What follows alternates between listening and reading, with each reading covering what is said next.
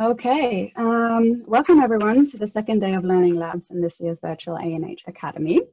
My name is Heike Walker. I am a research assistant in the IMMANA program at the London School of Hygiene and Tropical Medicine.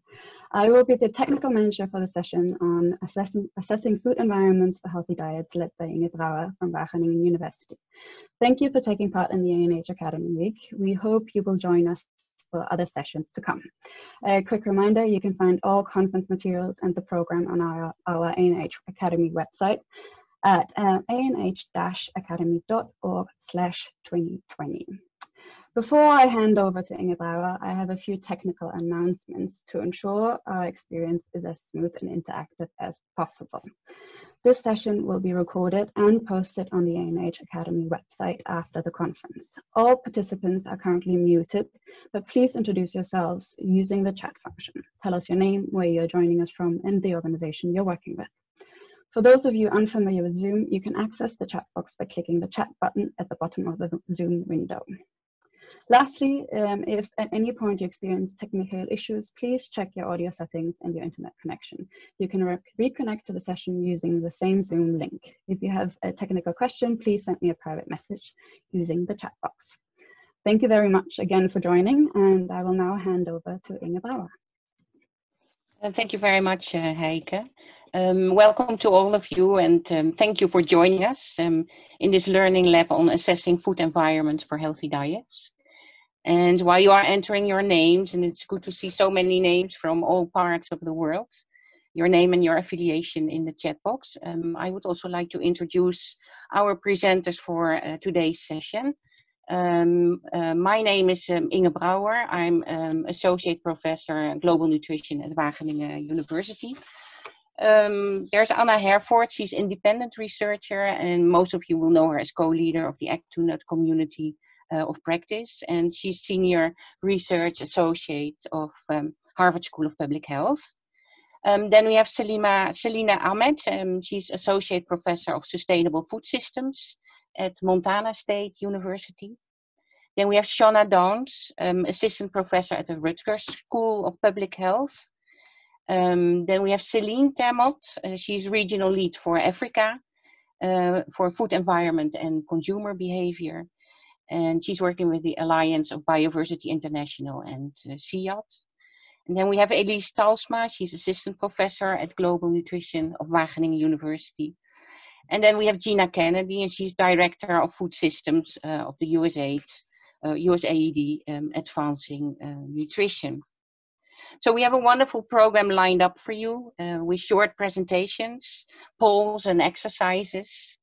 And um, of course, we depend on and we ask for your active participation in this learning lab. Um, um, and to make a learning lab um, as a success. So I would like to explain which platforms um, we are using. Um, and please listen carefully because it might be a bit uh, difficult. We are using two different platforms. So the first one we want to use is slido.com. So we would like to ask you um, to leave your full screen and go to your web browser and open slido.com, um, either by phone um, or your tablet or your computer, and use password uh, hashtag uh, T161. And when you enter Slido, you will see two tabs um, on top. Um, uh, one is called uh, poll and one is called question and answer. So the poll we are using um, uh, to have some teaser questions uh, during the session, especially in the beginning. And the question and answer you can use to ask your questions. So we will follow this. Um, you can ask your question, uh, but you can also vote for another question. If you think somebody else is entering a question you find very interesting or you really would like to know the answer, then you can vote for this question and it's getting a higher priority on the list, so a larger chance to uh, to be um, uh, answered uh, by one of us. Um, a second um, uh, um, platform we are using during the session is SurveyMonkey, and we will share the link later um, when we are at the point we will use SurveyMonkey. So use a separate tab in your browser to open a SurveyMonkey with the link. Yeah, so please don't use the chat uh, version of Zoom uh, because we uh, we would like we prefer to use slido.com um, and we uh, will start with a poll later on and then we will use a question and answer. Um, I hope um, I hope this is clear and we will keep on repeating it and lead you through it. Um, all will be muted um, unless you are asked um, to speak um, by one of us. So the um, uh, topic of this um, session is assessing a food environment. And food environments represent actually the range of food that can be accessed um, in the context where people live. So food choices result uh, from the interaction of the food environment and the consumer influenced by a lot of individual characteristics. Yeah, and shaping these food environments um, uh, to enable healthy choices can have a large impact, a positive impact on diet quality and nutrition. But um, there are still major knowledge gaps in how we can assess uh, food environments, and that's where this session um, is about. So in this session, we aim that you, um, at the end of the session, will have a better understanding of different dimensions of a food environment, um, that you have obtained um, a guide, um, a guided insight in some of the tools uh, that are available, and that you have experimented with uh, one of the tools. And we uploaded some pre-session materials um, and hope uh, you found time uh, to, to look at them. So readings, there were also uh, two interesting uh, videos um, that you could look at. Um, and uh, this slide is showing you the program uh, that we have lined up uh, for you. Um, so we will have a question and answer session uh, using Slido on preparatory material. Um, we have a session on photos uh, to be used to discuss food environment. We have three short presentations on some tools to assess food environment. And then we go into the exercise uh, using the COVID-19 food environment tool and we will end the session uh, uh, with a summary and with a question and answer. So please let us go now uh, to the first part, uh, which is the question and answer session on preparatory uh, material. And I would like to give uh, the word to um, Elise um, to explain um, some of these questions that will be asked. So open your slido.com, um, um, use the hashtag um, and go to question and answer tab. Uh, yeah, the poll tab, sure, sorry, the poll tab. Um, and the first question is actually already um, appearing. So the floor is yours, um, Elise. Yeah, thank you very much, Inge. Um, so please go to slido.com and uh, answer the question for us. So the question is actually what are the four different aspects of the personal food environment? And then Inge, you can share your screen with the results. So would you like me to do that? Also possible.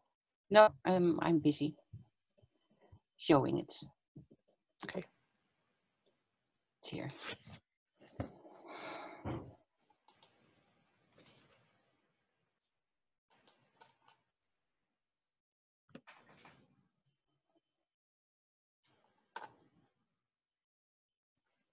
I hope everybody voted by now. We have 31 votes, so come on, people. Not yet everybody is there. Some more are coming.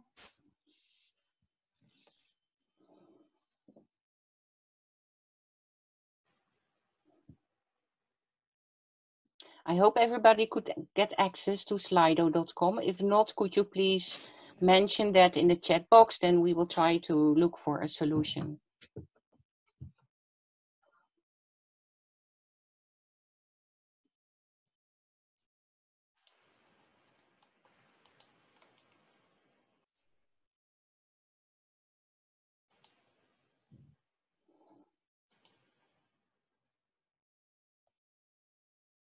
42 people, so it's going well.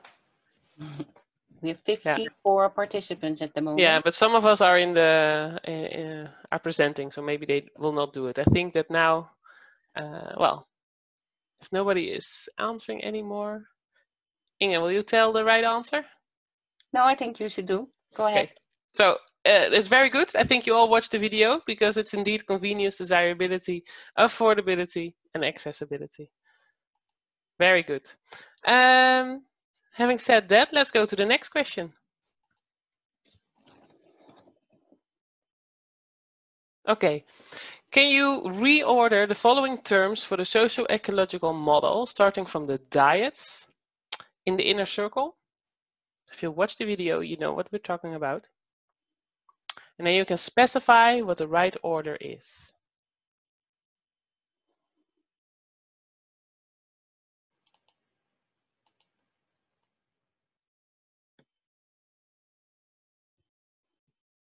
It goes pretty quick. The first people are already voting.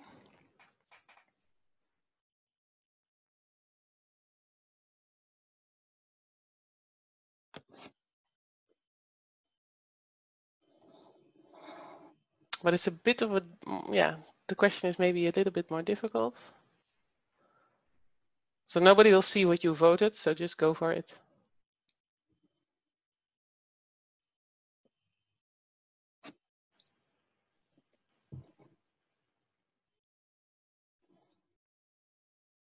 And don't be disappointed if you have the wrong answer because the video or the link with the video will stay on the website so you can have another look. Very true.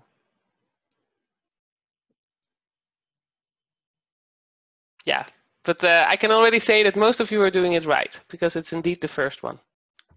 Yeah. Very good. So it starts with the individual factors, then you have the food environment, then the sectors of influence, uh, the social cultural part, and the ecosystems. Okay, let's go to the next question. This is more on the typologies. Can you mention the four types of food environment in order they appear in the food environment transition? So it's an open question.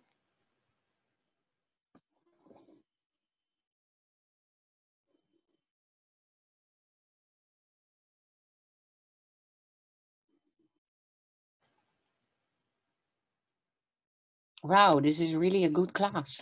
yeah. yeah. Yeah, these were indeed the uh, the answers we were looking for.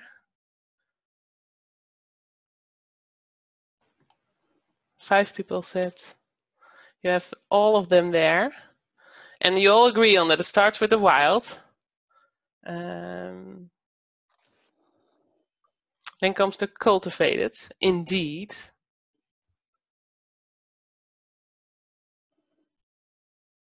Yeah. But then, is it then informal or is it formal?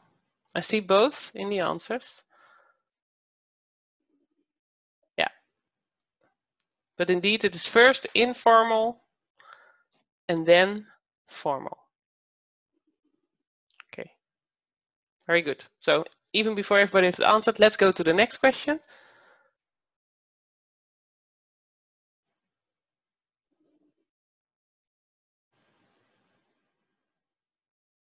What is your main food environment? So this is for us to be very curious about how it is with you. I see a big formal.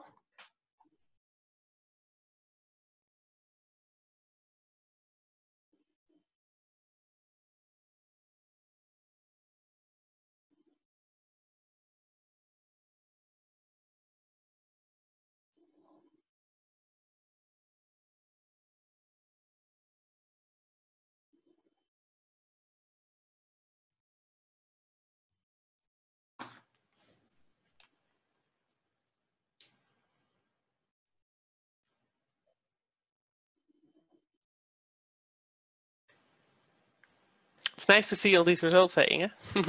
really nice. Yeah, I see so there's smiling. really a, a, variety of different um, and food environments. Yeah. You see that formal is the biggest one. Yeah. Formal and environment. Okay, good. Well, those were the four questions that we had for you to think a little bit about the presentations that were given as material uh, for this learning lab. Um, but yeah, maybe you also have questions that you want to ask based on the videos that you saw. So um, here in Slido, you can also now put your questions. And then um, we will try to answer them. Yeah, so please keep logged in into Slido and go to the question and answer tab and uh, write your questions. And we will come back to them um, later in the session. Um, because now I would like to continue with the next part, um, which is Gina Kennedy, um, who will tell more about um, how to use photos to characterize um, the food environment. So Gina, the floor is yours. Great, thanks Inge. Are you going to be advancing the slides? Um, yes, I, yeah. Okay, because it's still showing on my screen the Slido. Is it? Slido.com. Mm -hmm.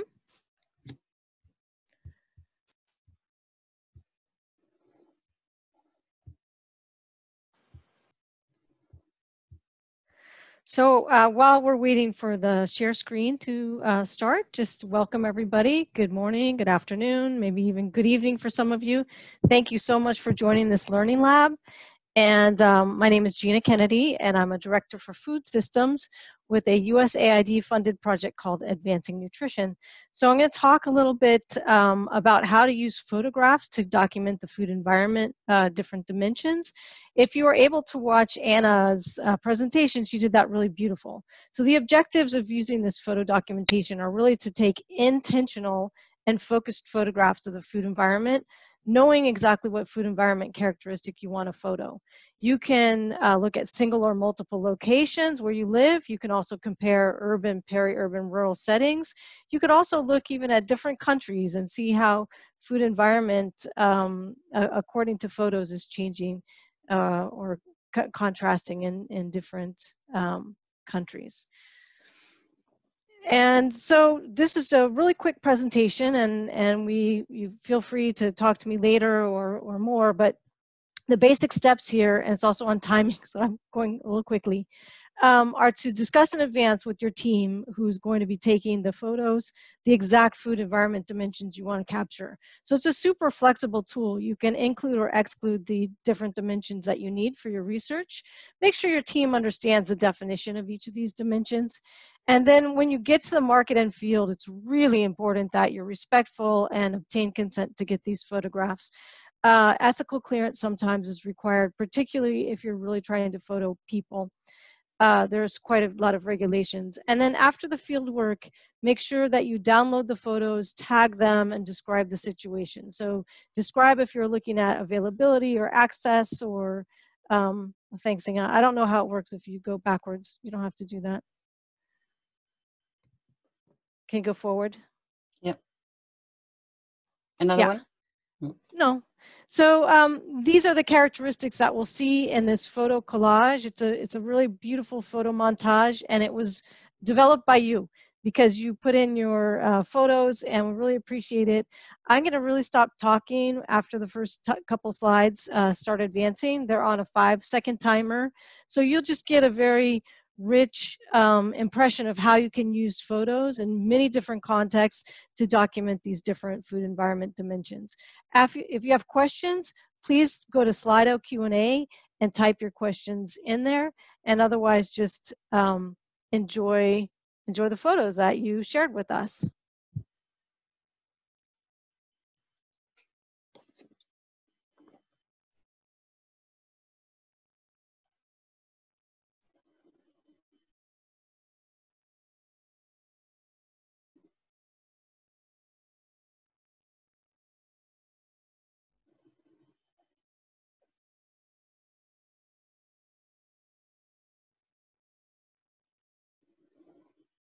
So please don't hesitate to ask your questions in slido.com under question and answers.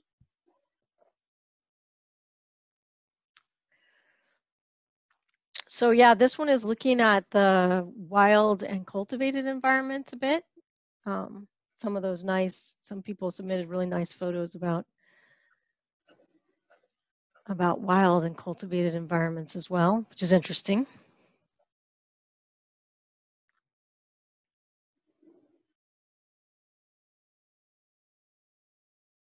So it got stuck, Inge. maybe you're going to have to advance.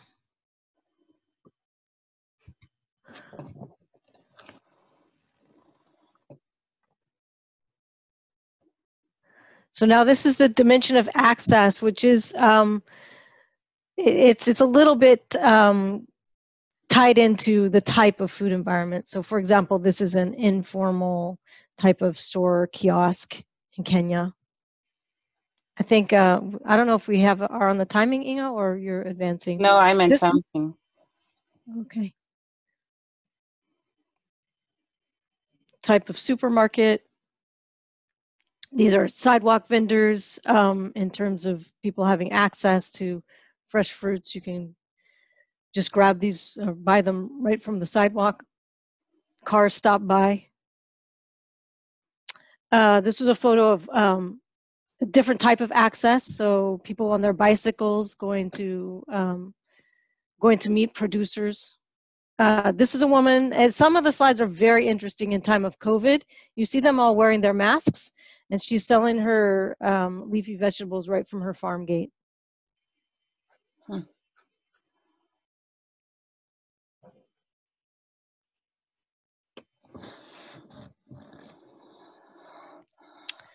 Uh, this was a Facebook page that somebody submitted, and um, you don't have to worry about having to read everything like really quickly because uh, you'll have these slides available to you, so you can go back at your leisure because some of them are dense with text. There was some people put lots of explanations.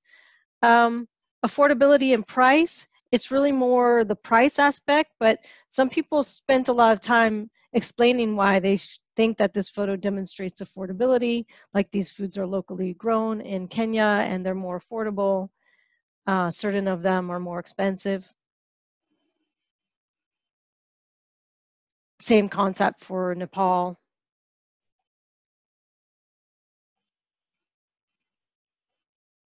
And then these are the actual prices. So a lot of you are quite familiar, maybe you even listened to Anna when she talked about collecting price data. So these kind of just are some photos that show you the different prices in different markets, um, maybe for different items. Anna talked in her um, lecture about relative price, for example. These are some prices for a kilo of uh, these different vegetables in a market in Rome. You can see the diversity also. This again is another interesting COVID photo. So you see the people lining up and uh, there's a long description, but basically the um, producers are coming um, to sell their produce at like a wholesale price because uh, the markets aren't functioning very well in that case. These are now um, some quality and safety issues. So this photo is demonstrating something that's really quite unsafe.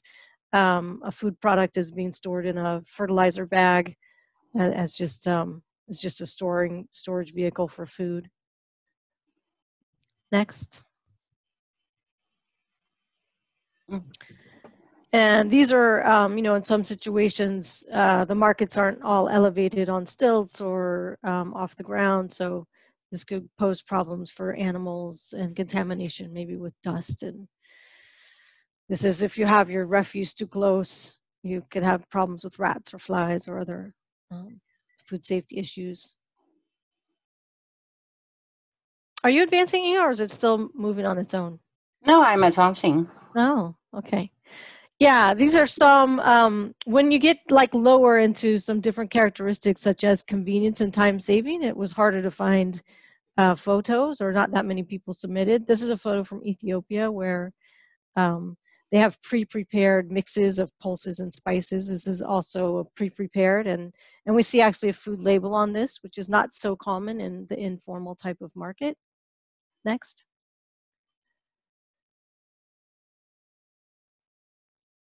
Uh, so um, this one was the same. Um, oops, that one, that one was somebody who had a, a garden for convenience that was mentioned also by Anna. And then this is promotion and advertising. We see um, Knorr uh, being advertised in Ethiopia. Next. And Indomie, I think uh, this is a worldwide phenomenon, this uh, ramen noodle. And then these are um, some smallholder farmers in Ecuador that are promoting their food, foods for health and nutrition value. and then some of you submitted like a whole multi-dimensional collage, which I thought was interesting. So this one is from um, Indonesia. We see child drinking Coca-Cola. We see parent with fresh fish. We see small kiosk with um, with different ultra processed food products. So that's nice. That also kind of gives you an idea of how you can make a montage of the food environment where where it is that you're working. I like these ideas. Next.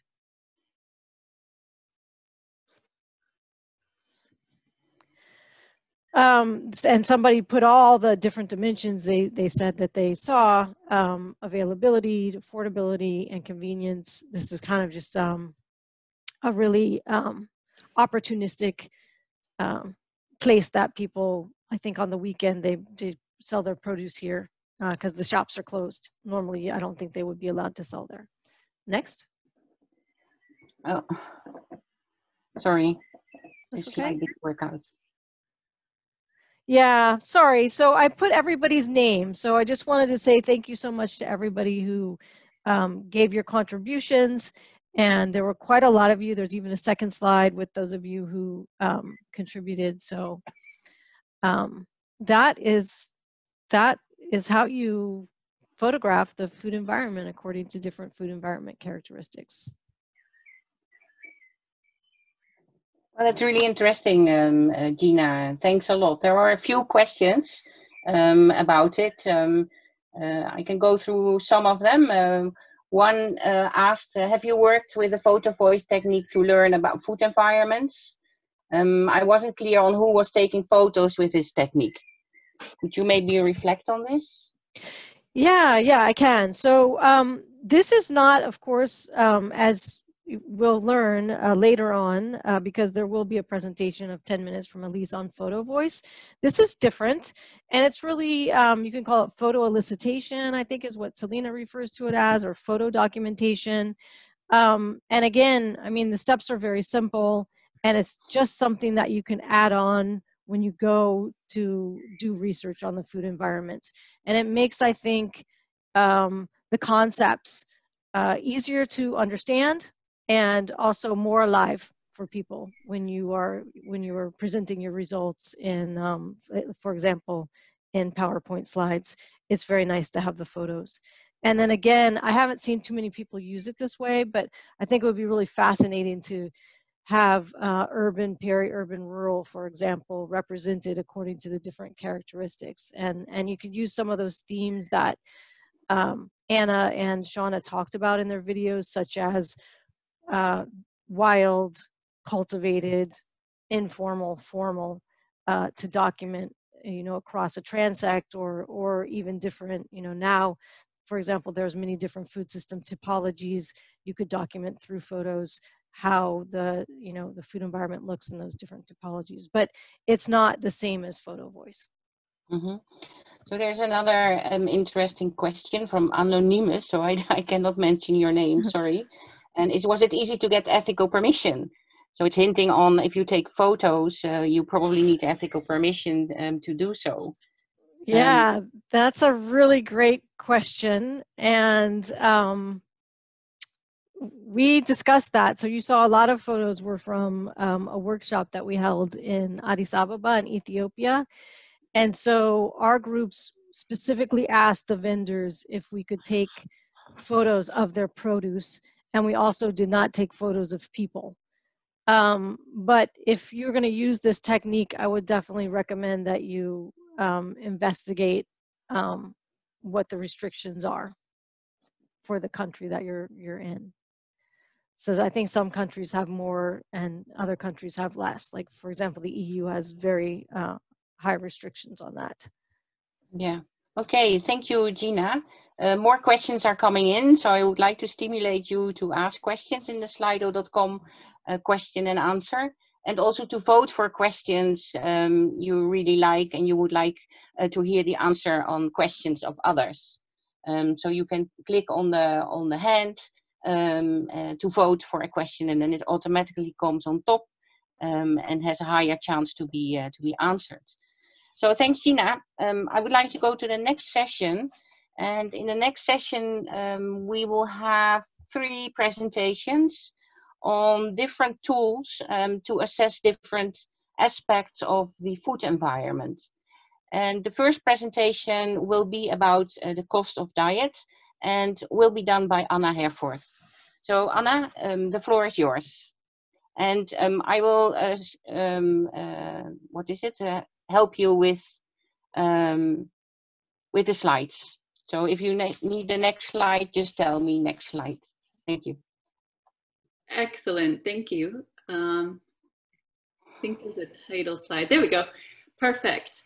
Um, so thanks for all those photos that you contributed. Those were really wonderful. It's so interesting to see different types of food environments. And um, I put this in the chat box, but uh, I just think, you know, once you're looking for it, you see all of these elements everywhere. You know, every time you're going to buy food, you see availability and affordability and convenience or lack of convenience and promotion and uh, sustainability properties. So um, this was a really great exercise and thanks Gina for, for talking us through all the pictures.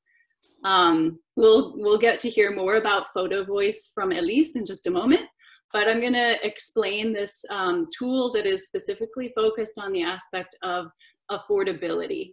So this is the cost of recommended diet tool. Next slide, please.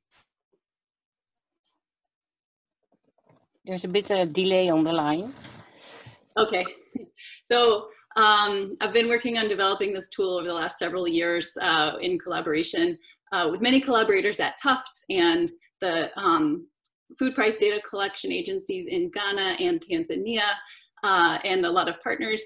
So the cost of recommended diets tool is um, it's an indicator to find the lowest cost way to meet dietary recommendations in a given time and place. Um, and it's based on food-based dietary guidelines. So you see some examples. Um, the, the Benin food guide, the India food guide, the US food guide are shown here. There are uh, over 90 countries that have developed dietary guidelines. Uh, and then you can also use other guidelines that are not national, such as the Eat Lancet uh, diet reference, reference diet. But basically what you need are um, some sort of guideline that specifies food groups and the servings uh, that would be recommended per day. Um, an important element here is capturing the proportionality of different items in the diet. And this indicator is meant to say, all right, if you were to follow these food-based dietary guidelines, what is the minimum that it would cost you to actually follow these guidelines? And it's a really policy uh, coherent indicator because these guidelines are national policy where they're developed. They're meant for everyone to be able to consume these diets. So assessing the affordability of them is a key part of whether the food environment is supporting people to meet the guidelines. Next, please.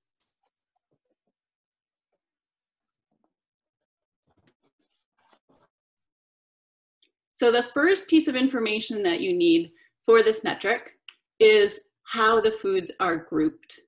And you can see, um, this is just an example from India showing the different groupings of the different foods. But this is not enough. Next slide.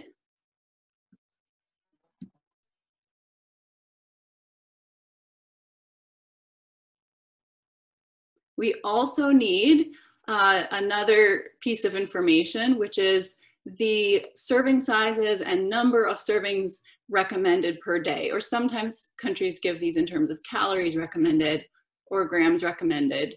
Um, this is following again the India example, which shows uh, in the first column grams per portion, and then in the next columns portions per day. So you can multiply easily grams per portion times number of portions, and you arrive at a total grams per day that is recommended for each food group. And then you can find the price of that number of grams of different foods in the food group and find the cheapest ones uh, in order to satisfy these recommendations. Next. So that means that the third piece of information required is food prices. And you need enough food prices to um, be able to satisfy dietary guidelines. So you cannot compute this indicator if you only have prices for maize, wheat, and rice, for example. You need prices on a diversity of foods um, for all of the different food groups. in a rule of thumb, the data set that you have should have at least 60 items or so to cover all the food groups. And in general, um, different guidelines group them different ways. But in general, we have, you know, uh, typically seen food groups of starchy staples, uh, protein-rich foods like legumes, flesh foods, and egg, dairy, uh, sometimes included together with the other protein foods or sometimes on its own, uh, vegetables, fruits, oils, and fats. And uh, for this metric, we take a certain number of foods for each of those categories because dietary guidelines recommend diversity in the diet. We don't just take the cheapest food. Uh, for most of them, we take the cheapest two or three. Um, so for example, you know, often five a day fruits and vegetables is recommended. So we have two fruits and three vegetables um, in order to cost what are the two cheapest fruits and two cheap, three cheapest vegetables. Excuse me. Next slide. So you can get the um, price data either from secondary or primary data. So uh, when all of us here on this um, learning lab did a workshop together in Addis Ababa in November, we had the workshop participants visit four different markets and obtain food prices at the stalls where, where people were looking at um, the different properties of the food environment. So in this workshop, um, very quickly, within about an hour of collective work, participants collected over 185 food price observations for over 100 items, so that was definitely enough to calculate the indicator. Um, if there were multiple observations, uh, like many different lentil prices, we took the average lentil price um, and found, very importantly, price per kilogram, not price per bundle or price per, per bag. Um, so we had an idea of the actual gram, price per gram, and then converted uh, that into price per serving and found you know the price of each serving in the different food groups defined in the guidelines. Next. So when we did all that, you know, this was really quite quick. As a group effort, it only took us a couple of hours to come up with this chart, which was in these markets we visited in November in Addis Ababa. Um, the, uh, the total cost of the recommended diet was um, about 35 Ethiopian birr, which is approximately 70% of the international poverty line. So kind of barely affordable. Um, the, uh, you can see that the starchy staples are, are a big portion of the diet, so they also uh, have a big portion of the cost, but also vegetables and dairy are high portions. Next. And we could also graph cost per serving. So when we look at it that way, we found that um, fruits, vegetables, and dairy were very high cost per serving, which can explain um, why the poorest people may not choose to use their marginal income on food groups that are relatively expensive, or they may not even have enough income to do so. And so looking at prices this way explains why diets are heavy in starchy staples and low in diversity and can give indications about where the food environment might need to improve to support healthy diets. Next. Um, so there are a couple, if you wanna use secondary data instead of collecting your own food price data, um, these slides are, the text came out a little small, but um, I'll just narrate that one of the most important sources is uh, from national statistics organizations, which collect uh, consumer price indexes. So they collect a lot of data on many foods, uh, often at high frequency. And these kind of data, if you can obtain them from the statistical organization, can readily be used for computing this indicator. Um, and they're usually available nationwide. And then secondly, ministries of agriculture or trade sometimes also have their own parallel uh, food price data collection system. And these usually don't have packaged goods, but sometimes they have enough foods to be able to compute these indicators. And the advantage, if they do, is they often ca uh, capture more rural areas than the um, statistical agency's consumer price index. So two great sources of secondary data that you can look into. Next.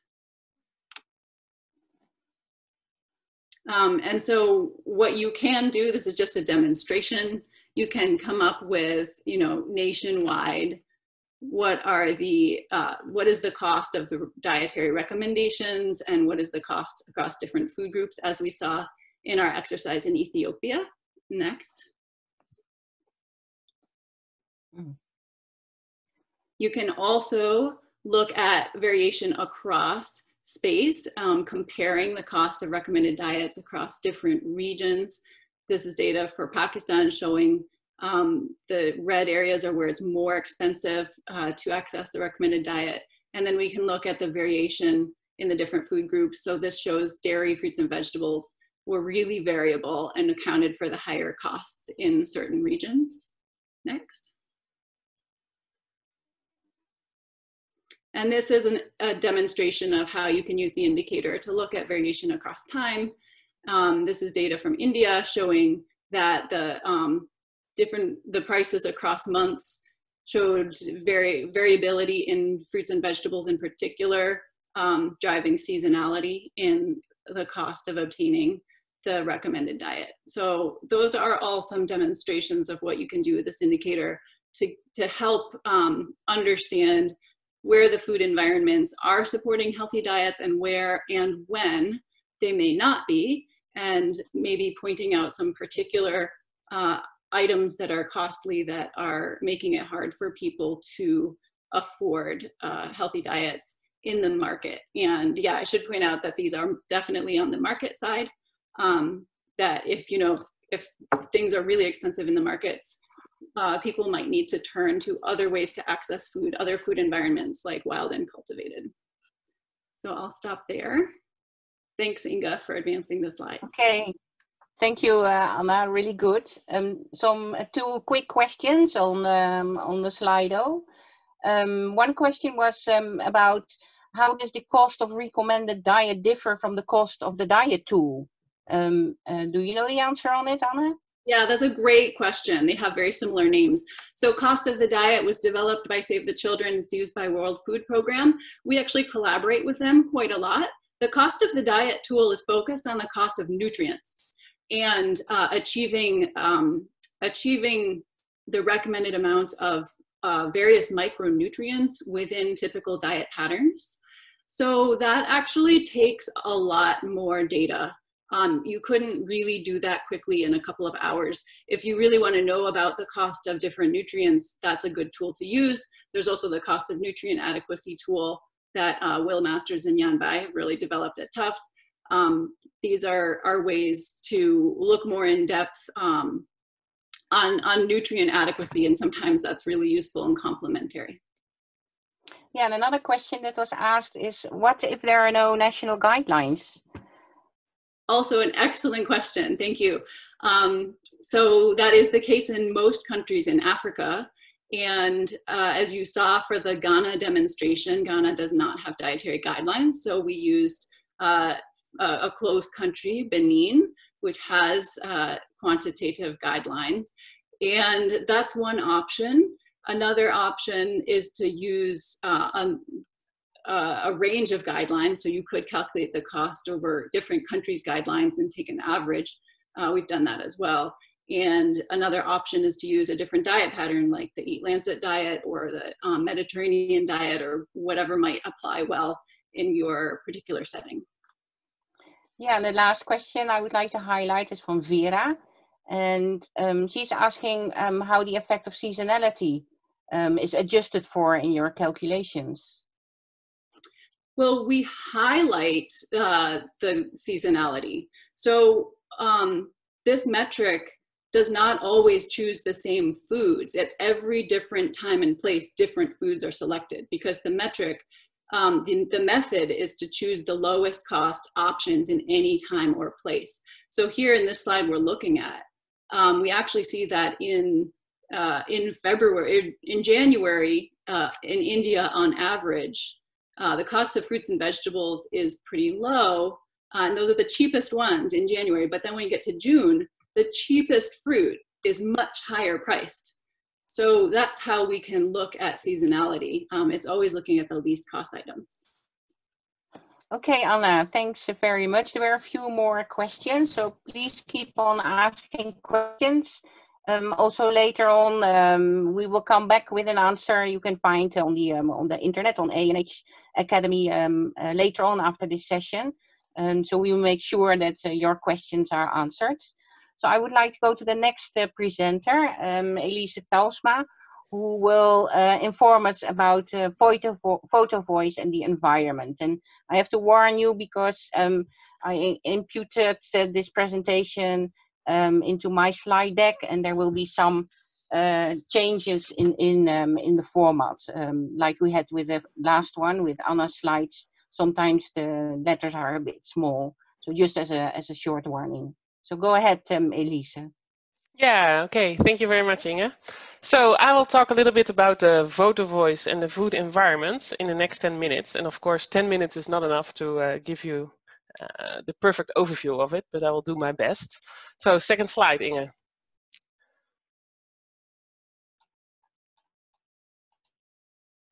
Yeah, so what is photo voice exactly? We already saw some questions in the in the chat box about it. So I, I think a lot of you heard about it and maybe you're already using it. So then you know more about it than me.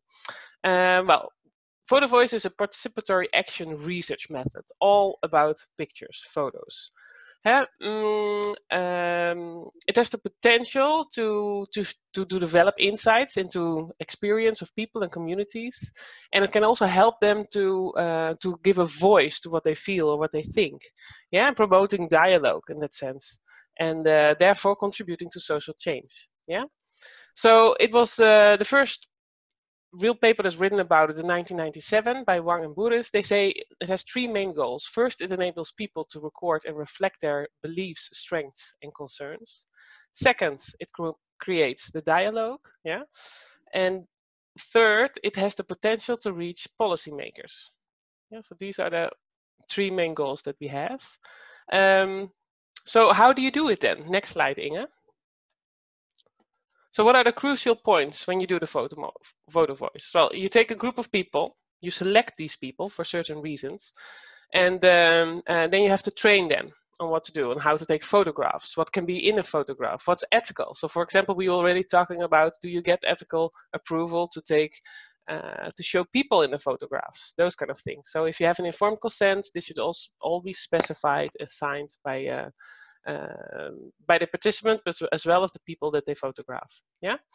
So then you take photos with a specific topic. You give them a certain topic, a, certain question, and then uh, there's basically a three-stage approach. There's the selecting. So when you have taken photos, you have to choose the photos to the topic. And you can do that together. Then you have to explain the context of these photos. So you put words to the picture. Uh, yeah, and then you codify them. So you have to identify the issues, the themes from these photos. And that's a way of grouping them. Yeah, and you do all of these three stages with individual sessions, one-on-one, -on -one, but also by focus group discussions. Well, you do it yourself, but also you use the, a method, a qualitative method to do so, to do it a bit more objectively. And of course, uh, after that, there's the write-up. And then even more important, there's the feedback back to the people that you did this with. Yeah, so that's basically how you should do it, but it's better to explain this to you uh, with the help of an example. So uh, one of my PhD students, Ursula Trübswasser, she's also here uh, in the group, so we can even put all the difficult questions to her. so she did a photo voice study in, in Addis, uh, in Ethiopia, with adolescents. And um, her paper is at the moment under review. Uh, so soon it will be available for you all to look at. Yeah, so she used, next slide Inge. She used the framework that's now familiar to you all, I hope, when you saw the videos, uh, to work um, on the aspects of the food environment of these adolescents. So uh, looking at the individual factor, the social environment, the physical environment, and the macro level environment. Yeah, so all, everything is based on this, and you will see the same colors later uh, in a picture of the uh, an overview picture of all the pictures of some of the adolescents. So this is what she used to identify teams and to code them. Next slide. Yeah, well then she went to two schools of each 15 adolescents and they were in the age group of 14 to 19 years. And their assignment was as follows. First, what are the challenges in your environment to eat healthy and what are the opportunities in your environment to eat healthy? But then she didn't give any information on what is healthy. So this was also open to their interpretation. And they got the, uh, the limitation of taking maximum three photos per topic. Because of course this was very difficult. Uh, so they came back with a lot more, but there are ways to come up with less pictures. So this is a photo of the map. Right? So there were two schools. There was one government school and a private school. Um, in the government school, we ended up with 15 students, and in the private school with 11 for certain reasons. And um, yeah, next slide. So this is how, how it was done. So this is an introduction training where you talk about what it is, what they have to do to give the assignment. Next, yeah. And then this is the individual taking pictures of their food environment. Yeah, next. And then you use that to discuss in one-on-one -on -one sessions. Uh, and then you also make decision on which photos do you take per topic. And then when you have done that, you also use the Atlas program or the qualitative program to analyze them, to make teams. And then you verify that with focus group discussions. So then you have all of them, all the group together. And again, you discuss the photos and you talk uh, about these uh, with certain predefined questions. If you want to know more about that, you can look it up in the paper yeah so it's really about what do you see here? What does it make you feel? Where does it come from? To really see the background behind the pictures and you also write those down. So all of those quotes are very important in the photo voice method. So this is an overview of one school where, where they started with 487 pictures but then uh, on the one-on-one -on -one interviews they came there they selected 92 photos. With the help of Atlas and uh, in the focus group discussion, they discussed the 46 photos and they ended up with seven to eight photos per, uh, in the groups. And in total of every research topic, there were three photos. Next slide. Yeah. So then the analysis of qualitative information. And eh? so there was a code book based on the hypothesis and the framework. And then we analyzed the photographs, we analyzed the interviews, and there was discussion of the, the transcript of the discussions. This was all documented. Uh, based on all of that, all of the above, the teams were identified, and um, the, she conducted a word count. Next one.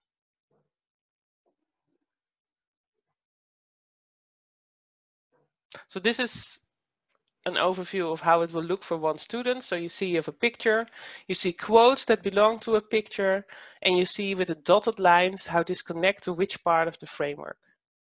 Yeah, so it becomes really messy, but luckily there are programs that can help you with it. Next slide.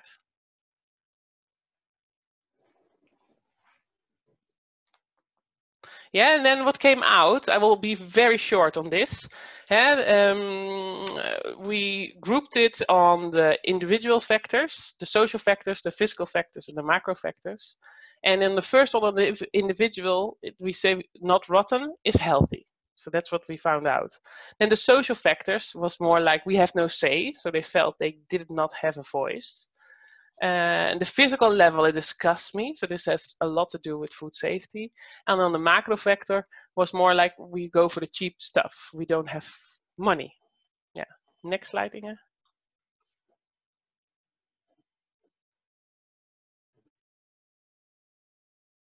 Yeah, here an example of uh, unhealthy foods.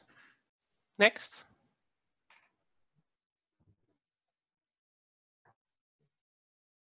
We will go a bit quick here, uh, Inge. Yeah, healthy foods, all examples. On the social level, we have no say, they said. So in the paper, actually, we talk about the quotes that came out of the study. Next slides. Yeah. On the physical level, it was all about the food safety.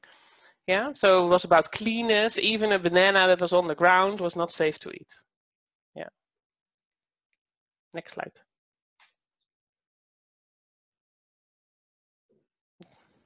Then the macro level, if they had a little bit of money, they would go for the cheap stuff, the things that they were able to afford.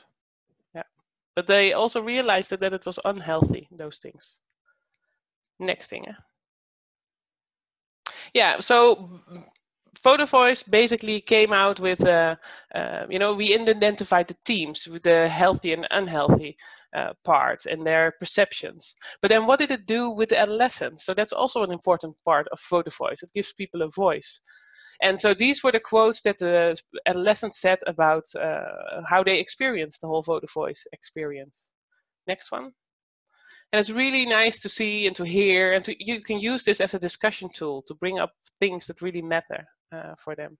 Yeah, so overall, it was really valued uh, highly. Next one. That was basically my, dis yeah, that was my, uh, the end of the presentation. Thank, you uh, Elise, uh, for this insight in using photo voice um, as a research tool. Um, there's one question coming up, and, and this is, have you worked with photo voice technique to learn about the food environment? And the person wasn't clear on who was actually taking uh, the pictures. Was it you or were the participants?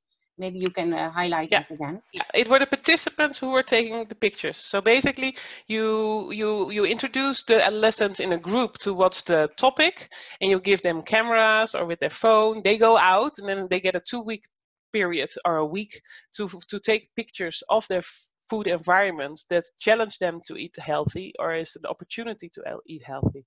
Yeah, so they are do it. So they do it. And then the first question I didn't get, Inge. Sorry. Um, no, that's the, the objective. Was it to learn about uh, or that the participants themselves learn about their own environment? It's two way. Basically, we wanted to know the perceptions of the adolescents on the, of the food environment. But then also what came out is that was also what they said in the quotes that I showed in the end, is they saw it as an opportunity to think about healthy and unhealthy foods. So I also think that with the photo voice study, you can actually uh, create more awareness on the topic. That's also so, something I would like to research more in the future. Yeah, another question, interesting question um, that was asked is how does the photos taken um, compare with the actual voiced feelings?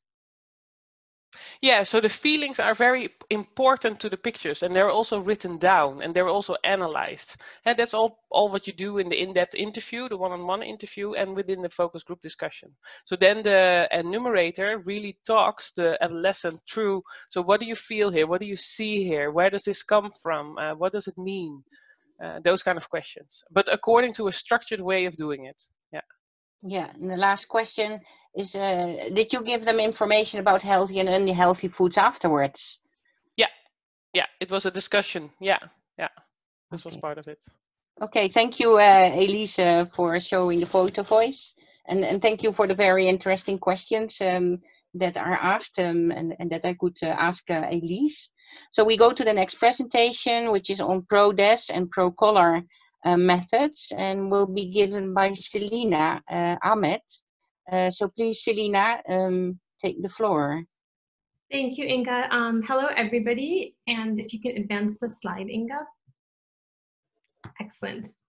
Today, I am going to share some food environment measurements specifically for um, measuring the aspect of quality of the food environment.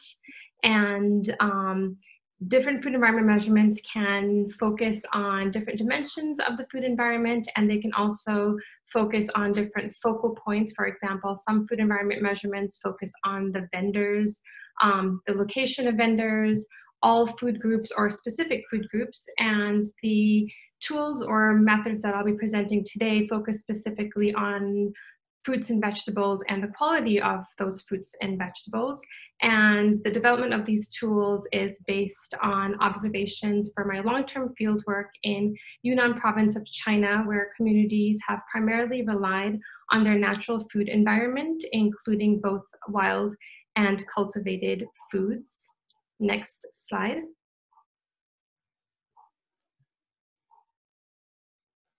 Next slide, please. Um, and then um, in the past seven years, I've also developed these tools. Oh, previous slide. Oops, previous slide. And there's a I've bit of delay. Hmm, there's a delay, okay. Um, I've also developed these tools um, based on observation of um, built food environments here in Montana in tribal communities, um, as well as interaction with wild foods and cultivated food environments. And so what I've been really fascinated with is the interaction of different food environment types and then thinking about specific assessments that are suitable for capturing those specific food environment types. Next slide.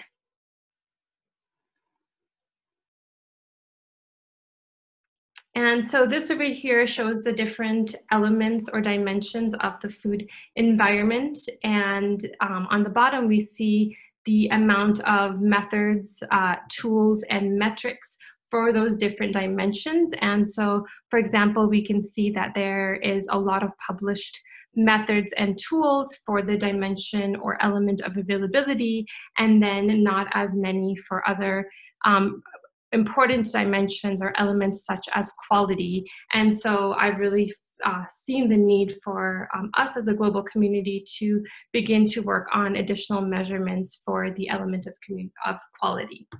Next slide.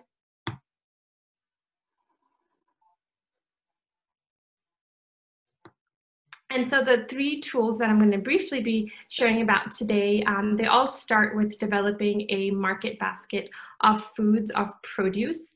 And there's different ways of assembling this market basket, but the tools that I focused on have sort of looked at five um, culturally relevant or prevalent fruits and five um, culturally relevant or prevalent vegetables in a specific community or nation. So for example, in the United States, there is a food environment metric known as NEMS, and that lists uh, the five most consumed fruits and the five most consumed vegetables in the United States.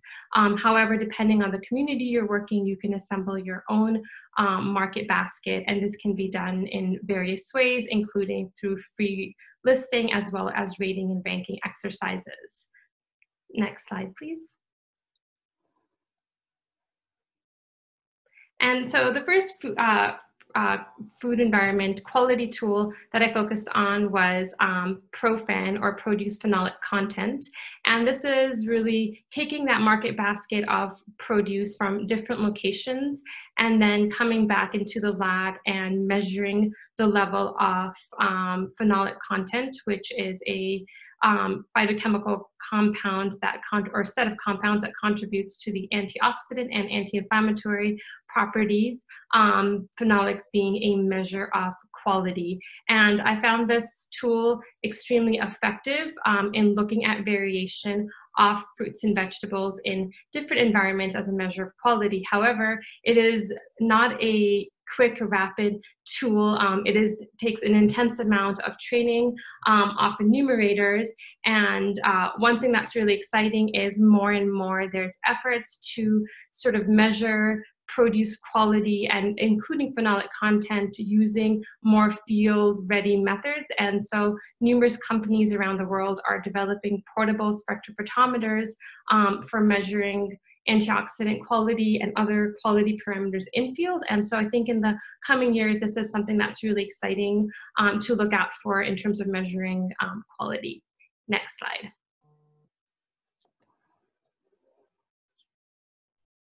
Um, and then another aspect of quality is the desirability. And so a lot of times when we ourselves are in um, a vegetable or fruit market, we're you know picking through the specific produce that we want. And that's an observation that I've had in food environments around the world that people don't just grab any mango, for example, but they're really sort of looking at that, that produce um, based on different sensory characteristics and just because something may be available doesn't mean that it's actually going to be purchased um, because of those sensory attributes. And so ProDes basically looks at five different observational sensory characteristics um, of fruits and vegetables and then assesses those from the perspective of an enumerator. And this can be both an objective uh, tool as well as a more perceived food environment tool where you can ask consumers to um, rate the desirability of fruits and vegetables. And so when we have the enumerators looking at the fruits and vegetables, um, we're not looking at taste because we're really thinking about what a consumer sees in the food environment, which doesn't actually include taste. And so the choices that you may make are really based on um, the overall desirability, the visual appeal, the the touch and then the aroma. So this here just briefly shows um, how then that data is used um, to have different scores and then you can look at the desirability based on these different sensory attributes um, in different locations and um, and really see if specific attributes um, are more preferred or rate higher, and then you can develop uh, interventions based on that. Next slide. Um, and this here then shows um, a total metric that is the accumulation of those different attributes of of the ProDes tool. And so taking into account overall desirability, visual appeal, um, touch, as well as aroma to come into a total ProDes score. And then this is basically showing that data of ProDes scores um, based on a rural to urban continuum and how we see that market basket really varying on total ProDes scores. And so I found this a really helpful tool in thinking about the sensory aspect of desirability and how that impacts quality. Um, it, it's a very valid tool. We have really great inter-rater reliability, and um, it tends to work really well in thinking about the quality aspect. And then the last tool I'm going to be um, talking about is ProColor, um, Produce Color Diversity. And this tool is based on the concept that the presence um, of different colors of fruits and vegetables is one way to measure diversity as well as detect quality. Um, the phytochemicals basically having and imparting color to produce that are responsible for different health attributes um, of that produce. And um, this tool is also sort of linked to the concept that dietary diversity is um, linked to the diversity um, of the produce that's available in our food environment. Next slide. For example, um, the blue and purple color of produce is linked to um, the anthocyanin compounds, uh, which have antioxidant and anti-inflammatory properties. Next slide.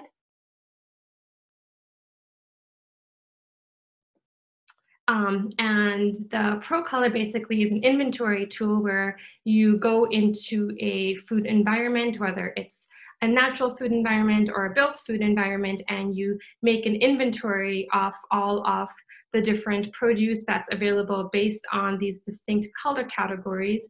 And then you basically create these different scores for looking at the abundance or relative frequency of those color categories.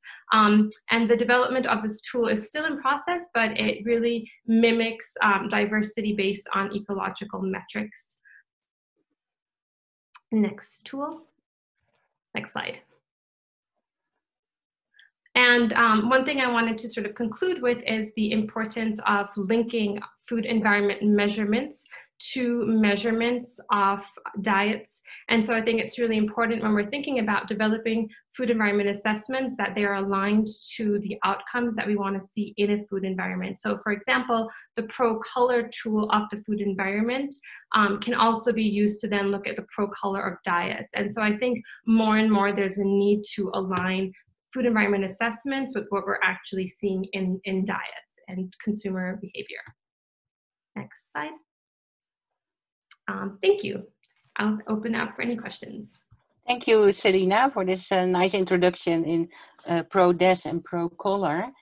Um, there's an interesting question of Jen Low, who's asking uh, whether the color diversity is linked more to the color uh, on the outside of the product or on the inside um, of the fruit or vegetable?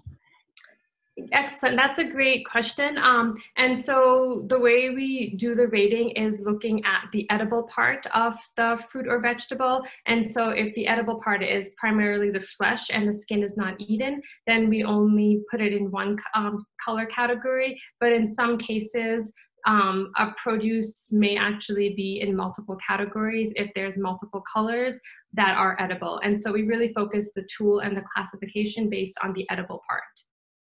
Okay. Um, and another question of Sweta is, is, is um, how is the outcome um, of ProDes or ProColor uh, and the scores? Um, are they related to health outcomes? Um, has that be, been studied? Excellent. That's a great question. Yeah. yeah. that's a great question. And I think that's really um, where research is needed is to look at those linkages between the food environment and dietary quality and health linkages. And so we are right now trying to link pro color um, two different health attributes. And so that's a study that's in the works. And I think that's really important for thinking about all different types of food environment metrics. Okay, thank you very much, uh, Selena, um, for your presentation and answers. Um, I would like to get to the next session, so I will stop sharing my slides. And um, this session will be um, uh, doing an exercise, so we need your, your active input um, here as well. And the session will be led by uh, Shauna and by Selena. Um, so I would like to give the floor to you both uh, to take us through um, the exercise. Excellent, thank you so much. And I'm gonna briefly share my screen.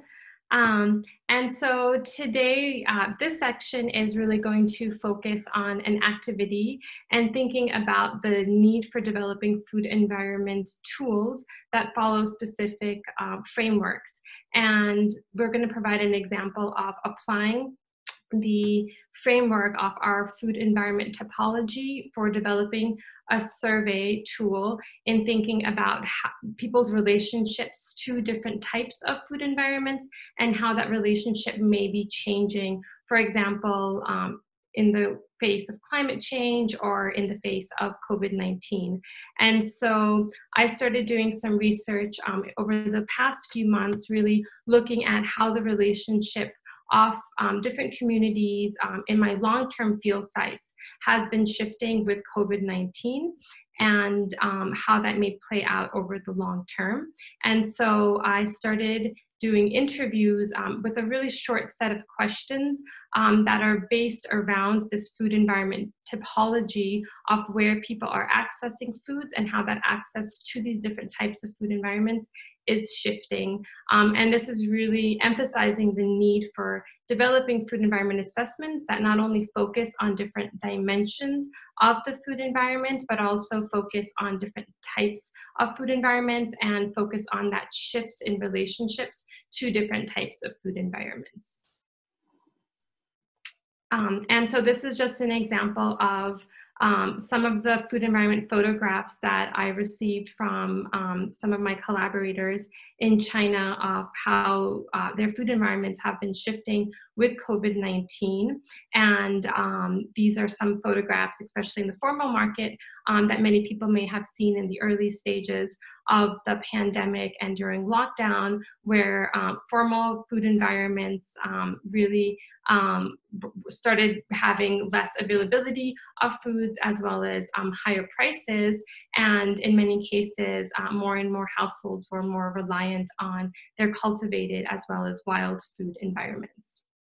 And so we developed a really brief set of questions based on um, this framework and these observations to look at um, how access to different food environments, such as changes in affordability and availability from these different types of food environments are shifting. And this is some preliminary data from rapid interviews we um, had in uh, different provinces in China.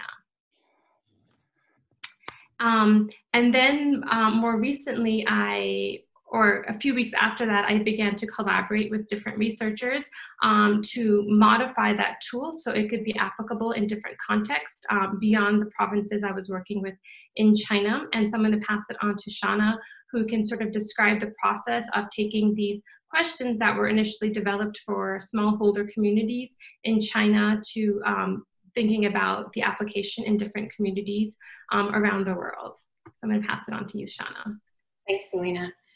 Um, so much like probably all of you that are on the call, um, after COVID-19 um, broke out, um, we really started to notice changes in our food environments and started to think about the places in which we work and how food environment changes within those settings are likely affecting people's ability to interface with those food environments whether that be in terms of con the context of uh, decreased access or affordability or other dimensions of the food environment. Um, so basically through a very iterative process, we talked to collaborators from India. Um, I uh, talked to my um, partners in Senegal and also in Kenya to think about what are the changes that are happening in the food environment? How can we take Selena's tool and sort of um, revamp it a little bit to allow for cross country uh, cross country um, comparisons. So that was really the idea of this tool. We also wanted it to be quite rapid. Um, so you'll see as you go through the survey, it's very quick. Um, and the idea is just to get some very sort of crude measures of how people are shifting in terms of the way that they interface with their food environments, and then how those different elements of the food environment are also shifting in the context of COVID 19. So, um, given our time constraints, I think we'll just get to the exercise. Um, mm-hmm. So, Sophia will drop the SurveyMonkey link into the chat box. And basically, um, you can log on to the survey and complete the survey. Um, you don't need to put the demographic information in, which is the first part of the survey. Just in, in the interest of time, I don't think it's necessary. And really, the idea is for you to answer those questions from your own perspective of how you have um, seen changes in your food environment over the last few months or so um, in, with the with the advent of, of the coronavirus um, but also to think about the context in which you work and whether or not these questions would be applicable in those settings and what might need to change. Um, you will see once you log on to the SurveyMonkey site that there is an IRB um, spiel at the beginning. You can just press no, we're not collecting your data and won't be using it for, for studies. So you can just click no on the consent question and then skip over the demographics and then fill in the other parts of the survey. Um, you will see some of the questions are related to cultivation and gardening. Um, that may or may not apply to you. I know for myself, I started growing some vegetables um, during this time, so maybe that has also shifted for you as well. Um, but you can feel free to skip over the questions that don't apply. And then um, we'll give you about 10 minutes or so to, to finish the survey. Uh, but what it would be really helpful is if you could use your green button um, in the participant list, so that green circle with a check mark, to indicate that you've completed the survey. And then we can pick up with the discussion in terms of what the process of doing the survey is and how it would be applicable to the settings in which you work. So if there aren't any questions, um, click on the survey and start filling it out. And just a quick note that um, the way we implemented this in the field so far has been through interviews, um, linking to participants that we've already um, have long-term relationships with. So we have not um, used this as a survey before. And so, um, but this is more for the sake of sort of uh, this activity that we've created a survey format.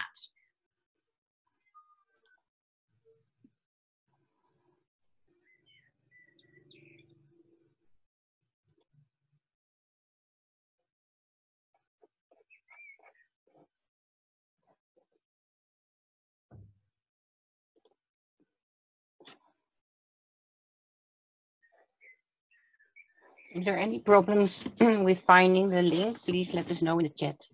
Um, and then we look for how we can help you.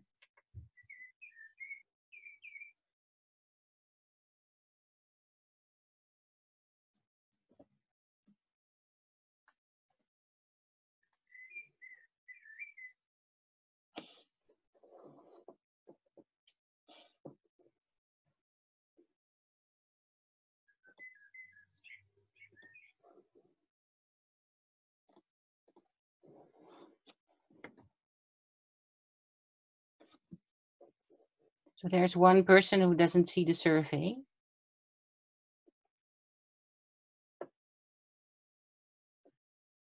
So I hope you try to put to uh, click on the link that is just above your comment. And then the survey should appear automatically.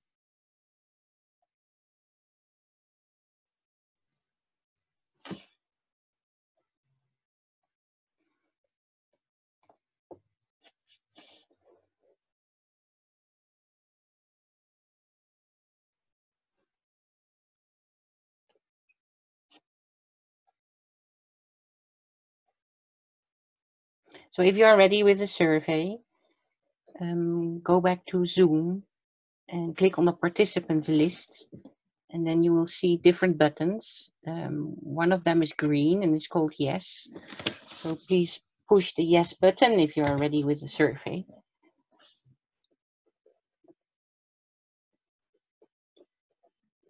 And just to reiterate, uh, for the sake of time, you do not need to fill out section or part one, which is the demographic um, part. You can um, jump on to part two and three, And also we have some sort of rapid multiple choice yes, no. And then um, if you have time, you can sort of expand um, and provide a bit more detail.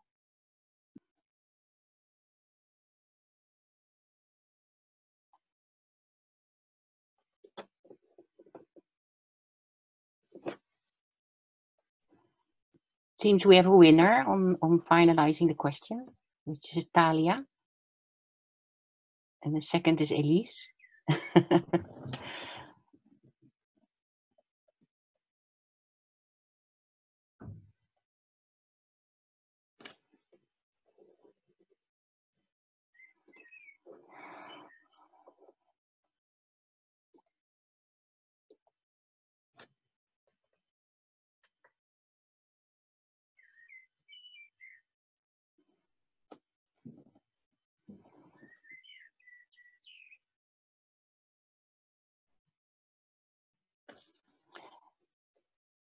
So if you go to the Zoom session and you click um, on participants,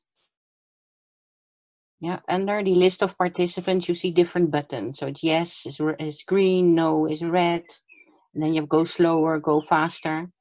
If you click on the yes, the green button, then it will appear behind your name.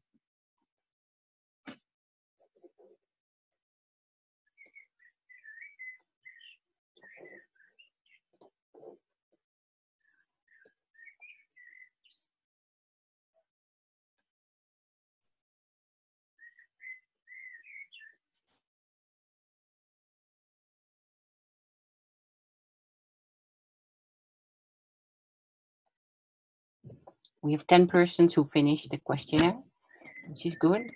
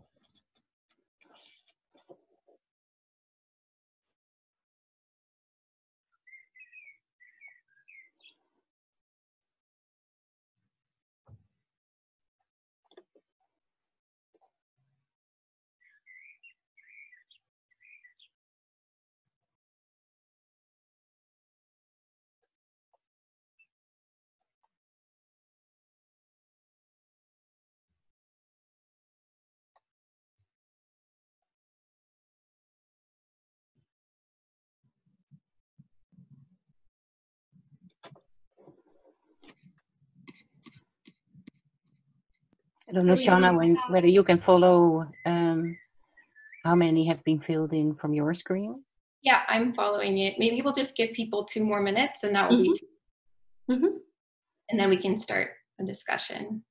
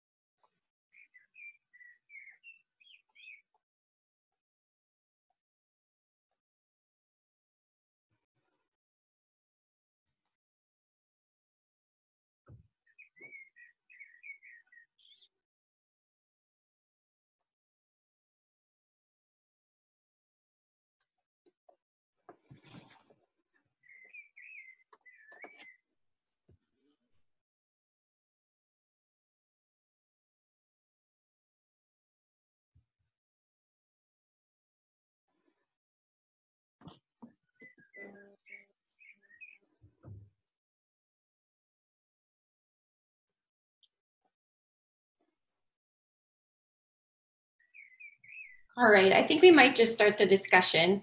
Um, so hopefully you had a chance to um, do this survey um, and found it useful. One thing I just want to point out before we before I open it up um, to hear your perceptions of the survey is just in terms of being context specific. So we understand the idea of this is for it to be possible to compare across different settings. But at the same time, we understand that there's also this tension between being context specific. And so, in the context of India, we added some additional questions to this survey, and we kind of called those the optional questions. And the survey in which you just completed was the core questions. So, there's definitely a possibility and flexibility in terms of which questions to include um, to make sure that it's um, it, applicable to the settings in which you're working. Um, so with that, I just I just thought I would open it up just for a few minutes for anyone's thoughts on the survey, anything that they think um, worked well or didn't, or would need to change in the context that they work in. Um, and then we'll we'll share the results. So Selena will pull up the results and just give you a quick sense of um, what, if any, shifts in the food environments that you interface with have happened um, in the context of COVID-19. So in order to contribute to the discussion, you can just um, raise your hand and then we can unmute you.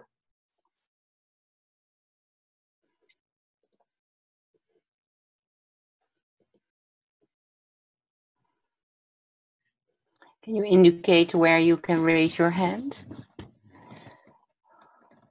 Um, can I?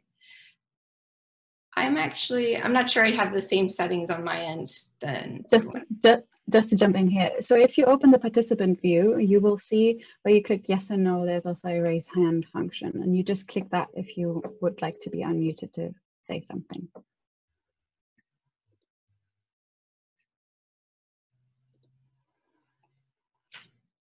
Maybe I'll just, um, until there's a question, I'll just make one other comment in terms of context and kind of um, so kind of uh, adapting questions based on that. So one of the things that we added based on our conversations with colleagues that work in India is the question related to food preparation and cooking fuel.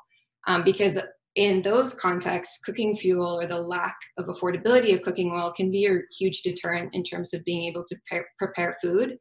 And actually, in the context that I work with in um, Kenya, in informal settlements, that's also a huge barrier to um, cooking at home is the cost of cooking fuel. So that's why you see those questions in the survey. Um, so it looks like Selena is pulling up the results. So I'll pass it over to her. Excellent. Yeah, so we're going to be looking at this data together since it is live. So I'm just going to go over a few of the questions um, in the food environment section. Um, so question eight, do you find it easier, harder, or about the same as before the outbreak to get food overall? Um, we see um, about half of the informants or all of your responses um, that it's about the same as before. And then we also have um, about a third of you who have shared that it's harder. Um, and then there's also a few people um, that share that it's easier. And again, we have basically administered this only as interviews over the phone as, and not as a um, as an online survey platform. And so, you know, when people then um, respond to this, they will also have um, the opportunity to provide these more rich descriptive responses um, about their access. And it's nice to see that some of you have shown um, or have provided responses to that. And so I'll just read a few of the responses. Um, to get access as we are afraid of getting infected. Um, in general, most food because of the curfew and social restrictions, um, harder for some um, types of food such as vegetables and beef. Um, so that was um, interesting to see. Um, and then in some cases, I also had read, I think in some places people said it's easier because they are preparing more, they have more time to prepare food at home. Seeing that somewhere. Um, but anyway, I will jump to the next um, question. Did food prices change since the coronavirus outbreak? Um, and we see the majority of responses have said yes, um, that's over 56%. And then um, also um, a large proportion have not seen prices change. Um, and so sort of the yes, no is really good for the rapid. We found that's really nice for rapid interviews so we can get a large sample size. And then if informants want to um, provide more detail, um, depending on their time, it's also really nice to have that information. So over here, we're seeing that meat prices have increased, um, mainly imports have increased. Again, that shows sort of the type of food environment that food may be coming from. For example, um, imports are mostly found in formal um, food environments. And then this question um, is really getting at the different types of food environments people are getting food from and how their relationship to those types of food environments may be changing. And so um, here we're seeing that the majority of you are getting your food um, from formal markets, um, almost 100%, so 97%, but a lot of you are also getting your food from informal markets, um, such as street vendors, kiosks, um, and other types um, such as wet markets. And then a third of you are also getting um, food from cultivated places such as fields, orchards, pastures. Um, and so I thought that's really interesting. And then a small minority are getting food from wild places such as forests and jungles, as well as water resources. Um, the next question, have the places you get food from changed since the coronavirus? And so I think this is really one of the questions that's at the core of this survey or interview tool um, that's aligned to our food environment typology. And here we're seeing that the majority of you, um, that, that the types of food environments where you get food from um, have changed and um, and then for about a third of you, um, the types of food environments where you get food from have not changed. And then again, um, a little bit more rich description um, of those responses, and I'll read a few of those. The local farmers markets open late, so I could not purchase from there until it opened. This is local organic vegetables uh, more online delivery, less supermarkets. And I think that's really interesting. There has sort of been a lot of innovation in the food environment since the pandemic. Um, so a lot of um, different enterprises are really sort of transforming and filling new market needs and consumer needs. And a lot of that has to do with online delivery. And a lot of the communities I work with in China, there's a lot of new mobile apps and different ways of getting food from what used to be um, the, the formal built environment. Um, this respondent said home delivery, also wholesalers who have been forced to sell households, um, which has been nice in a way as the quality has improved. Um, our garden, also a vegetable delivery service. Um, and informal places provide more food compared to formal places. Um, so yeah, some really great, um, some really great observations that are, have been shared over here. And then um, this really starts to go into thinking about the relationship of food environments to diets. Um, and then um, another, another question that we um, added in here um, based on our preliminary interviews um, was shifts in changes in specific types of medicinal plants for protecting against the virus. And so the majority of you have not started consuming specific medicinal plants um, or other food items, but some of you have for protecting against um, COVID. So for example, black cumin, um, so this is all garlic, um, really interesting information. Um, in terms of um, how the virus um, has changed income, um, it hasn't changed the majority of your income.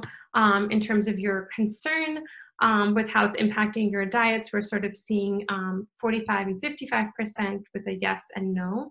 Um, and so, yeah, so thanks for share. Thanks for responding to the survey um, and um, and providing your responses. And um, it'll be. I'm going to pass it back to Shauna to open it up for some additional discussion questions regarding the implementation of the survey. So one thing that we're going to be doing is um, thinking about the temporal implementation of the survey at different time points. So I'm going to pass it on to you, Shauna. Great, thanks, Lena. Yeah, so one of the things that we also talked with our collaborators about is how often you might want to do this type of survey um, with the communities that you're working with. And so one of the discussions that we had with our colleagues in India was doing it at different intervals during different seasons. So at the moment, for example, people are just um, they haven't quite planted yet for their next um, their next cultivation. And so doing the survey before that and then after that might be good in terms of trying to understand how those shifts are happening. Um, one of the other things that we have also thought about is that obviously COVID-19 is a very acute event, um, but there is potential to use these types of questions in other contexts. For example, related to climate change and climate variability or climate shocks. Um, so, I mean, to open it up again, if anyone wants to provide their own feedback uh, in terms of what they think the, the timing of these types of surveys should be and how often they should be implemented, um, it would be great to have an open discussion about that. Um, again, you can raise your hand um, in the participant group. Um, you should be able to raise your hand and then we can unmute you um, if you want to contribute to the conversation. Um, I think there are also some maybe some questions in the chat box. And I'm not sure about Slido. So in Slido, there's a question about um, um, could you share the results across the different countries? I think it's Amos who asked it. Um, uh, probably he, he, hinted on uh, disaggregation per country. Yes, uh, thanks Amos, thanks for your question. Yeah, so um, definitely I think that we would be open to sharing the results. Um, they're still being collected at the moment. So in India, they're, they're doing the surveys at the moment. Uh, I believe in China as well. Um, in Senegal, we haven't quite started collecting data um, based on still waiting for IRB approval, um, which obviously when you're trying to do these rapid assessments in time constraints can also be a bit difficult.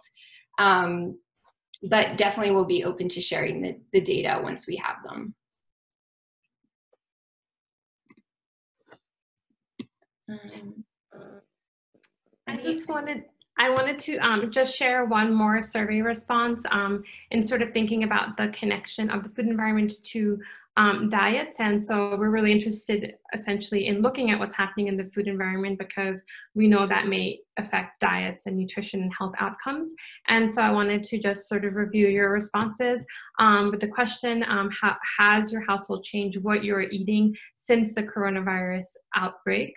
Um, and 41% of you said yes, and about 59% of you said it has not. And I wanted to share some of those comments, um, highlighting those changes or not.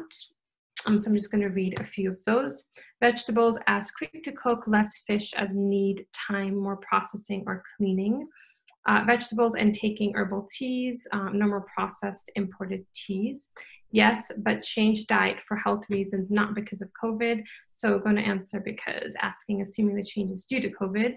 Um, more vegetables, vegetables, um, more long life products, more fruits and vegetables to ensure immunity is good, more vegetables, less ready meals. I'm able to afford even at higher prices less salad and less diversity of vegetables. Meals are all prepared for all family members. When one person does not like a type of vegetable, we usually do not eat it, while it would have been eaten at lunchtime or at a restaurant. Less fish, purchased a few times, and it was not fresh. Um, and um, so, yeah, thanks again for sharing your responses. And I think one thing that's really powerful about this um, survey is the ability to compare these responses across different communities and different countries um, so we can really begin to see patterns of how people are relating to their food environment and then um, how that may be changing with specific shocks. Um, and yeah, I think that is um, sort of wraps up what we have for this activity. There were still some interesting questions uh, coming through Slido. So one of them is, um, how easy was it to administer this questionnaire virtually? And what are some of the challenges that you could um, that you should be aware of if you do a questionnaire like this? And another question was how did you do the sampling um, for this covid um, in, impact study? And are you sure that it's representative for different food actors um, in the in the food system i think Um, yeah, so great questions.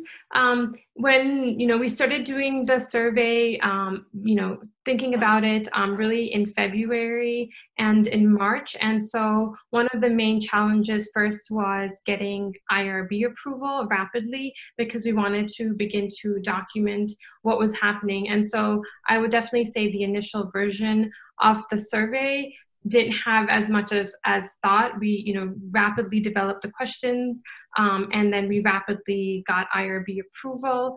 Um, and so it, it, based on this sort of rapid response, it doesn't, it didn't have the same sort of pilot testing of questions and looking at field validity. And so definitely the first round of implementation of our interviews um, was very crude. Um, we were able to get a lot of powerful information, but I would say it did not you know, mimic um, the perfect protocol for survey development. Um, so I think the first main challenge was getting IRB approval and making sure that happened um, at a rapid rate. And then the second sort of challenge was um, having access to participants. And so this is really where like relationships and long-term field research um, has a lot of benefits because you know we had established networks and we had phone numbers of um, smallholder farmers in the communities where we have been working who had um, basically given us previous permission to contact them for any further follow-up. And so I think one of the challenge is if you're trying to understand changes in a specific community um, in a remote way um, over interviews, you may not have access to everybody's phone number. Um, in terms of the initial sampling, it was not necessarily representative. We only contacted community members who provided us permission to contact them in the past. Um, and so it's not necessarily a representative sample in that way. And um, our continued sampling, we've tried to refine it, but again, we're only contacting people um, who whose phone numbers we have and have given us permission to contact them uh, previously. And maybe just to point out one one more thing in terms of the challenges. So we have people's phone numbers from previous work we've done in these communities, um, but obviously sometimes phone numbers change. And so I think one of the, um, or when people get new SIM cards and that type of thing. So definitely in India, it has been challenging um, to get access to people using the telephone numbers that they provided when we last collected data in those communities, which wasn't very long ago. Um, so that definitely is a challenge and it does mean that it becomes more of a convenient sample than a representative sample. Um, and so that's definitely something to be aware of. The other thing I just wanted to point out very briefly is that obviously this tool can be used in combination with other tools. Um, the, the, the, way that we've used it is in communities that we've already collected a lot of dietary data and also agricultural data um, and that type of thing. So we are able to sort of have a good sense of um, what the food environments in those settings look like, what the diets look like in those settings, what food insecurity looks like.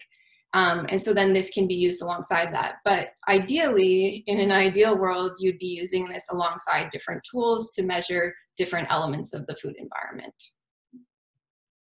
I think there's one burning question that's asked several times is, um, can the tool be shared? Yeah, so that, that uh, a lot of us doesn't don't have to reinvent the wheel. Absolutely. Um, we would really love for different people to use this tool in different communities and you can, um, you have the survey link. You can also email us um, if you would want further information about our implementation of this tool. And um, Shauna and I are also publishing this um, in the uh, food security special issue on coronavirus that's coming out in August. Um, so that's a resource we can post as well. Um, and so yeah, so this tool really is developed and we would really like as many people to use it. Um, so everybody's not, as you mentioned, uh, reinventing the wheel. Okay, that's great. So I would like to thank you, Selena and Shauna, for this interesting um, exercise and discussing the results and question of the audience. I think um, um, we had this session uh, uh, meant to to show some of the tools that are used um, to assess food environments and to get a bit of experiment um, experimenting with one of the tools we just just developed COVID-19 tool um, on food environments. And I would like to open up now um, uh, for general questions. Have, so questions related uh, to the background uh, literature, but also to the presentations, the short presentations of the tools, and also to um, the exercise. So I would like to go through um, uh, through Slido, and there are some uh, questions that were um, uh, voted for by quite a lot of people. And one of them is um, why in the food environment transition, wild and informal market are not included in pattern six. Um, so um, uh, with with concerns of for sustainability or whatsoever. So maybe Shauna, um, uh, you can answer that question. Yeah, sure. Um, so the pattern six is very conceptual. I don't think that there are really any good examples around the world of what that actually looks like in practice. And so it is possible that those other types of food environments would be encompassed within that pattern. Um, that's just how we sort of conceptualized it as part of this paper. But like I said, we were trying to, to find examples uh, of this in real life um, to include in the paper, and there's really not a good example. And so I think that um, as more and more um, communities and settings transition to more sustainable um, food systems, then we'll we'll have a better sense of what types of food environments are the predominant food environments in those contexts. Um, and then just one other thing I wanted to point out in terms of the food environment transition is that it's not that you have to go through all of these patterns um, to get to that last sustainable food system or food environment. Um, so there are various different ways you might transition, and it's not necessary to go through each of those patterns. So if you're currently a low income country, you don't have to go through each step to get there. Um, and so there's various different ways to, to become more sustainable. And there was another question related to this, that in some local environments, you can have both wild and cultivated elements. And the question was how to categorize that. Um, so that may be also useful to follow local views. Yeah, so I think that um, there are different tools you can use to capture both types of food environments. So for example, even um, in some of the work that I've done in India with Dr. Suparna Ghosh Jerath, who's at the Public Health Foundation of India, we've used things like free listing to um, identify what types of foods are being um, being accessed from the wild food environment, but then also from the cultivated. Um, so I think there's different methods that you could use to assess those different types of food environments. Um, and I think it's really important, like I mentioned in, in the video, um, leading up to this learning lab, is that you need to measure these different types of food environments that people are accessing. Um, because if you're not, then you're probably not going to get a good picture of all the different foods that people can access within their communities. Okay, thanks. Um, so there was another uh, question earlier on when you presented uh, and that was on COVID-19. So maybe it's solved with the survey monkey, But the question was that some consumers turn to online fresh food delivery. And, and do you have a plan to adapt tools like ProDes to such contexts? Yeah, that's um, a really great question, and um, I ha don't have a plan, um, but it, it, has been um, become really important. And um, you know, during this time and thinking about sensory aspects and not really being able to uh, choose specific produce um, in in the context. And so I think I think that's a really interesting question, and I don't have a plan. And I would I would love to hear any feedback if anybody has ideas of of how that can be adapted. Then another larger question uh, for all of us, I think, is how do you see measurement of food environments advancing? So let's think three to five years from now. Um, how do you see us thinking about this differently? That's a great question, I think. Um, maybe I can ask um, Anna um, and Gina and Elise to reflect on that. Anna, maybe you can start. Sure, yeah, there's been so much advance in the last five years in terms of just thinking about, you know, food environments started really, that area of research was mainly on formal environments in high income settings. where most of the initial research has been done. And so in the last several years, there's been so much um, that we've taken forward to, to apply those same concepts to different settings like rural and agricultural settings. Um, you know, the ANH Academy had a food environment working group about that. Uh, Selena and Sean and I have written about that. And I think this paper that uh, the typology that Shauna presented in the um, pre pre slides to this learning lab was really useful um, in you know making it clear that there are these different food environments. It's not just supermarkets and it's not just purchased items. So that's you know that's where we are now. But I think uh, it's there's a lot to be done in terms of how we measure. We've shared a few tools with you today um, that are on different pieces of the food environment but there is a lot of work to be done on developing tools that are you know can assess different food environments at different settings and then how to use that information to actually improve food environments. I think that's the next the next step how we measure it and then what we do with that information. Okay gina maybe you can add on that? Yeah thanks. No that's a great question. And um, Anna, of course, is very thorough, so she covered a lot of the points. But so to add on, I think that there's a couple kind of upcoming tools that um, will really be helpful as well. So I'm thinking of specifically the food systems dashboard. It's creating a lot of excitement and raising the profile of food systems thinking in general. And uh, that does have a section of food environment. And, and I think the other five, five years on, we're going to see um, a lot more understanding of how the food environment is really, as Anna put it, you know, constraining or liberating healthier food choices. Um, so I think that that research is really going to, you know, the research about consumer choices and consumer behaviors and linked to the informal, formal, wild cultivated uh, food environments. I think there'll be a lot more information that we have about that and I think in general, food systems are really um, catching attention with a lot of new summits and things. And I, and I guess the last thing is, I feel like we're really on the um, edge of being able to be- measure diet quality um, better, more rapidly.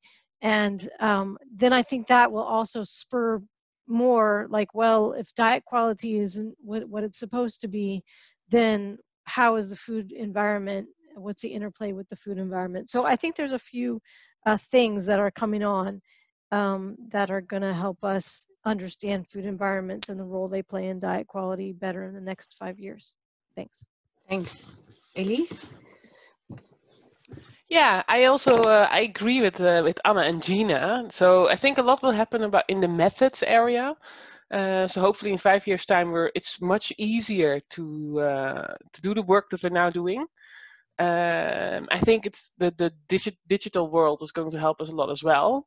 Uh, I'm personally also very interested in how GPS and GIS things can help us, you know, with um, uh, distance and those kind of things. So that will hopefully uh, go quick. Yeah, I think that was it. Okay. I agree. Yeah. Yeah. And Shauna, yeah, I think that um, one of the things that we've been, me, Selena, and Anna have been talking a lot about is kind of developing some sort of toolbox or having some sort of set of tools that are rapid assessments that we can use in uh, different settings to measure different types of food environments with the view to then linking them with diet quality um, and being able to then identify how you might intervene within those different food environments to make it easier for people to eat well.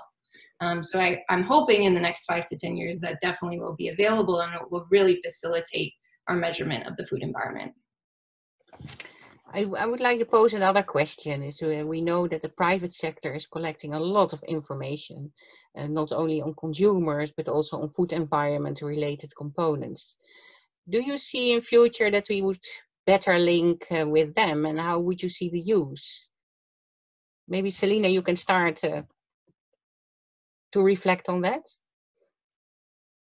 Yeah, that's a that's a really great question, and I definitely think that cross-sector collaboration is really important for understanding the food environment. Um, the food food environments are so vast and complex, and I think different um, sectors really trying to collect the data is essential. And so, in the past, I think five years, there's been a lot more effort um, with sort of policy um, thinking about the food environment. And then I think in just more recent years, um, you know, uh, enterprises and businesses also collect their own food environment data. And I think that cross-sector collaboration um, really is essential in being able to collect that sort of large amount and scalable data to begin to see these very local patterns but also these very global patterns and so yeah i think it's really really important and there, there needs to be more dialogue between different sectors really to achieve that yeah, thank you, Selena. Well, in view of time, uh, we have to round up uh, this session.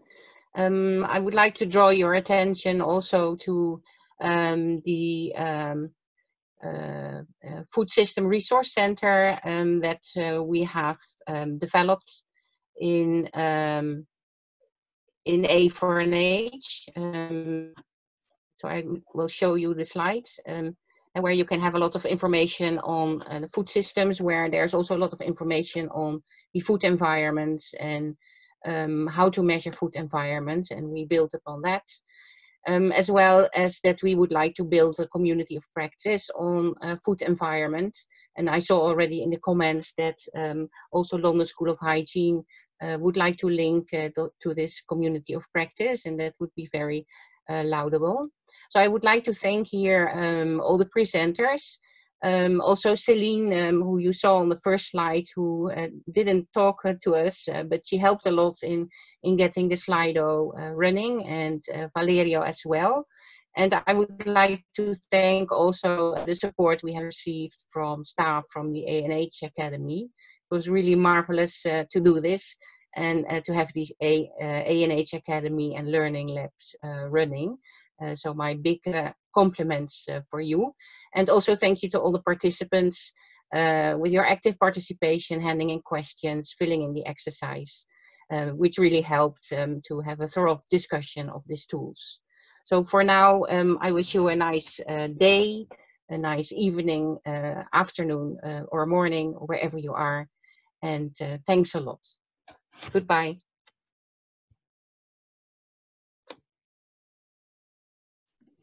Just a thank you from my side. Um, thank you all um, for participating. Thank you to Inge, Anna, Gina, Elise, Selena, Shauna, and Celine. And I hope you all enjoy the rest of the ANH Academy and join us for other sessions to come.